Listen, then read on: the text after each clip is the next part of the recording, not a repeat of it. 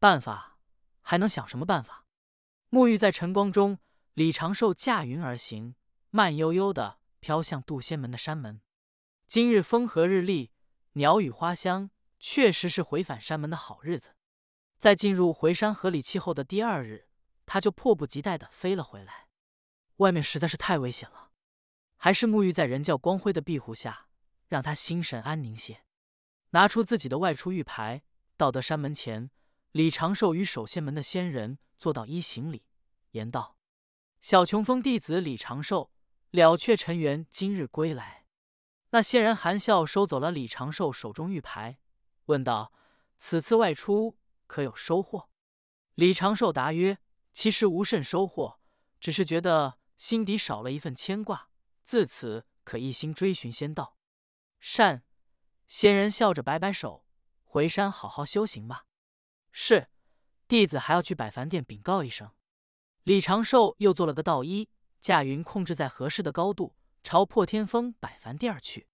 守门的仙人含笑点头，心中觉得。这倒是个不错的年轻一辈。到了百凡殿，寻到今日当值的长老，总算将自己的返乡之旅画上了句号。如此，外出渡劫这一遭也算圆满落下了帷幕。圆满个鬼！李长寿偷偷掐指一算，心底禁不住轻吟了声：一百三十二座了。一夜之间，又有两个村寨搞起了海神崇拜。他明明真的什么都没去做。心底一叹，李长寿对百凡殿当值的长老问了句：“弟子可以去拜一拜殿中的祖师像吗？”自然，那长老笑道：“祖师像挂在，那就是让门人弟子敬拜，去就是了。咱们渡仙门是人教一脉，你们弟子要守的规矩虽多，但实际上追求的是无为无拘，只是要尊礼，不可冒犯祖师。多谢长老，弟子明白。”李长寿面色颇为郑重的答了一句，随后便认真整理了一下长袍内衫，走到了大殿正中的圆台外，仰头看了眼上方的画像。画像中，一位面容模糊、无法看清的老道坐在一头青牛之上，背后有宝光闪耀。这就是太清圣人显灵时被记下来的画像。之所以面容模糊，却是谁都不敢去画圣人真容，画了便会被圣人所知。说不定会降下责罚。当下，李长寿先双手前拱，慢慢做了个道揖，随后前走两步，上香供奉，后退三步，撩起道袍下摆，跪在了蒲团上。杜仙门有两位执事，一位长老，刚好看到这一幕，都略微点点头。像这样在平常的日子里都会前来拜祖师的弟子，当真不多见了。片刻后，这弟子。怎么还在那跪着？心诚则灵，应当是想让祖师庇佑，仙路长宁。又过了片刻，在大殿各处隔断间内走出来十多位长老、管事，好奇的看着这边。这弟子该不会是遇到了什么难事了吧？咱们可是吃了不少这弟子的灵鱼，要不要去问问，帮帮忙？哎，他不来主动求助，咱们也不可多打探什么。谁还没得烦心事了？半个时辰后，大家各自回了吧，莫要多看了。这弟子刚了却尘缘而归，应当是心境不稳，想借此平复心境。周遭人渐渐散了，几位长老心底暗道：稍后李长寿过来拿月宫，问修行，暗自给他点好处。这弟子应该是遇到了难事，但祖师可是那个，如何会管这般小弟子的小事？总算李长寿拜满了一个时辰。慢慢起身，心底安稳了不少。要对抗圣人，唯有抱紧其他圣人的大腿，这就是他唯一能想到的办法。哪怕因此被门内少许关注，权衡之下，也必须来这里拜一拜人教教主，让自己在教主他老人家那里多一丢丢存在感。门规限制，不能私挂祖师画像祭拜，能找到的祖师爷的卦象就是在此地了。出的百凡殿，李长寿驾云朝着小琼峰而去。其实转念一想，也可能是自己多虑了。堂堂圣人，如何会真的自放身段，来针对他一个人教的小仙人？成圣之后，大劫不悔，要争的是面皮教育。但万一呢？圣人，圣人在人前加了个圣，那不也是代表还有人性吗？当然，圣人们并不是上古才诞生的人族，道门三教主是盘古大神元神所化，其他三位都是先天生灵，根脚不明。万一西方教那两位大佬突然因为某种原因上了头，真就要跟他一只小虾米一般见识？嘿，就你这小子还敢搞事？李长寿嘴角抽搐了几下，看来小琼峰的复合大阵中需要搞点遮蔽天机的阵法了。不过这类阵法的阵图，渡仙门掌门都不一定有，更别说布置起来需要的宝材。世道多艰难，心底思索中。李长寿已然飘到了小琼峰上方，低头一看，就看到了在树下打坐的灵娥。其实也是个概率问题，安心修行吧。李长寿呼吸吐纳了一阵，调整好状态，这才缓缓落向下方隔绝阵。很快，树下的灵娥欢呼一声，几步跑着冲了上来。但李长寿对他做了个噤声的手势，示意他乖乖站好，随后便走到师傅的草屋前。对着草屋行礼，言说自己已了却尘缘归来。屋内传来几声大笑。奇人老道勉励了李长寿几句，就继续闭关，将屋子外面的几重阵法再次开启。师傅正在参悟无为经的关键时刻，仙识扫过小琼峰各处景色，映入心底。李长寿的那份不安也淡了许多。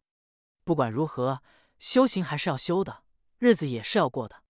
自己虽然之前。也想过去南海一趟，将自己的神像都弄碎。可一想到自己现身容易引发更多未知事件，也就索性任其发展。师兄，兰灵娥眨着那双明亮的眸子，两只手在身侧抬起来，像是雏鸟扑腾一般，忽闪了几下。嗯，李长寿却是直接板起脸：“你跟我进来。”兰灵娥哆嗦了下，顿时摆出了一张苦瓜脸。低头跟在师兄身后，委屈巴巴的进了自己草屋。班蒲团并腿跪坐，低头摆表情，流程依然十分熟练。李长寿坐在圈椅中，开启草屋周遭阵法，看着面前这个已经锁了容颜身段的师妹，他低声一叹：“我就出去了三年，你……”小灵娥瞬间闭紧双眼，抬手抓着自己耳垂，连忙喊道。师兄，我知道错了。刘思哲师兄和王琦师兄的对决有我的原因在，我也没想到会这样。那天只是随便出了个主意，真的只是想要打发他们离开，结果欠妥考虑，让事情闹大了。嗯，李长寿怔了下，我是在问你，湖里淋雨少了三分之一的事。兰陵娥怔了下，随后身体弯弯扭扭的瘫坐在那。完了，已经全招了。一年多以前的那天，刘燕儿带着他两个师弟离开之后，第二天就出了事。刘燕儿知会了王琦，事先禀明了师傅和峰主，然后用计告诉了刘思哲自己已有身孕。本是想让刘思哲至此就不再纠缠，却不想刘思哲直接去找王琦打了一架。这一架两人都没有受太重的伤，算是势均力敌，但却因弟子私斗被门规惩处。刘思哲被罚闭门思过二十年，不可踏出都灵峰半步。王琦也被罚停月宫三年，而后便与刘燕儿结成道侣，在小灵峰修行。师兄，我错了，错在哪？我不该没考虑清楚他们几个人的反应，就直接给燕儿师姐出了这个馊主意。南灵娥低头应着，结果害得他们三个都受了门规惩罚。李长寿嘴角一撇，骂道。我教你这么多年，你是真的用了短短几年就把我教你的全吐出来了。也罢，你性格本就是这般，是我不该对你有这么高的要求。罢了，别别罢了，师兄你尽管要求我吧。灵娥顿时慌了，我以后再也不闯祸了。你不要放弃我呀，师兄，我以后安安静静在你身边修行，遇到陌生人一句话都不说了。那你再说自己错在哪了？兰陵娥眼圈一红，顿时有些手足无措。我我，你就不该管旁人事？李长寿手指戳了戳桌子，叹道：“你知道那刘燕儿命中的姻缘，到底是跟刘思哲，还是跟王琦？”一个暗恋百年，一个相识几年，刘一儿为什么会犹豫？为什么不能狠心对刘思哲说狠话？还不就是心底有所迟疑？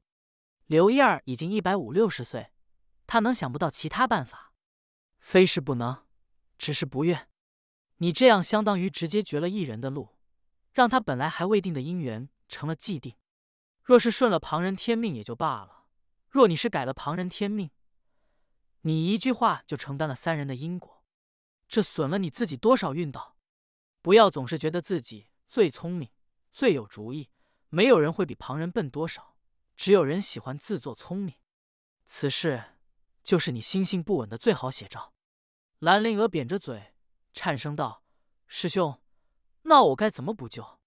做多错多，稍后你去给刘燕师姐赔礼道歉，求她一句原谅。”李长寿靠在圈椅上，揉了揉眉头，看来你还是不太明白。给你举个最简单的例子。若是今后刘燕师姐和王琦师弟闹掰，他首先会怪谁？林娥秀眉一皱，低声道：“是我这个当初出主意帮他拒绝另一人的外人。”李长寿苦笑道：“所以说，为什么要去干涉旁人私事？情之一字，自古谁能说清？这并非是修道问长生的必需品。你每日想最多的也是此事，长此以往，只会浪费你的资质和悟性。”你自燕儿师姐那赔礼之后，也在封上好好反省。刘思哲什么时候出关？你也什么时候出关吧。李长寿站起身，又道：“这次不多罚你，自己拿个石板去抄写《稳字经》三百遍。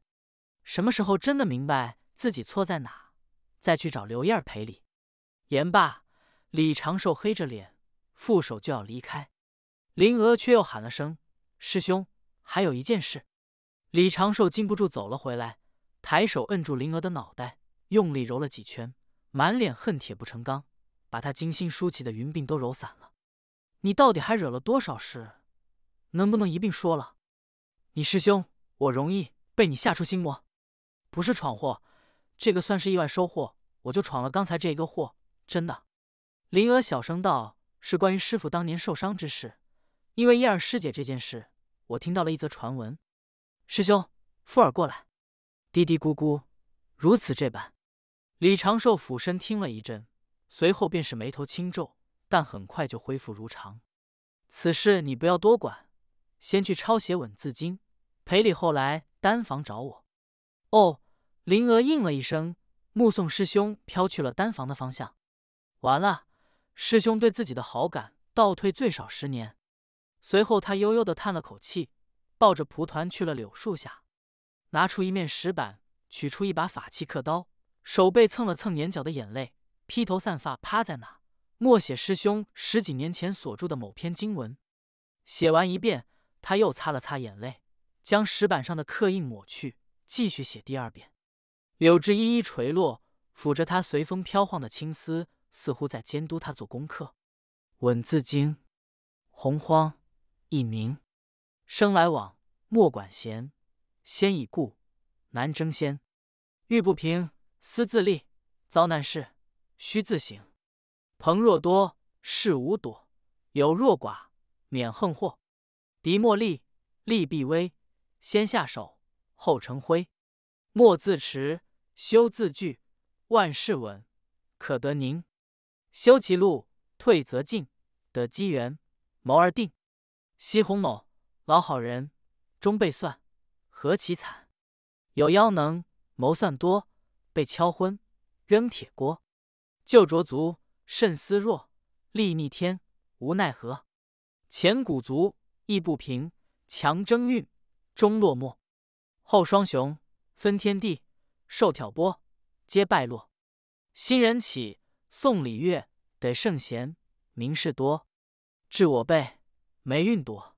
先路全，得道果；事稳健，具因果，免夺强，自可乐。避天灾，须变化；躲人祸，不留锅。朝闻道，明先图，稳自经，半手册。